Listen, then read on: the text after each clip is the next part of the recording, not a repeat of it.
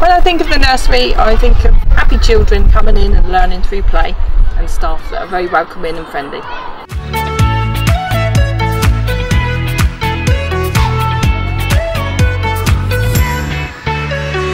At this setting, we take children from as soon as they've had their first injections, so they can attend nursery from the age of eight weeks, and then they stay with us until they start school um, at the age of four.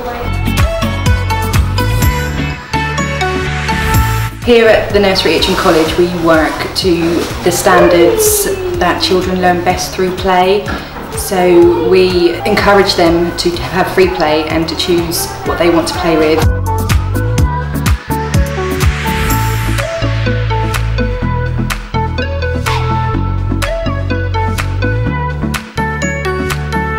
When I think of the nursery, I think of a fun, professional, outstanding setting where we all do our best to help the children meet their goals.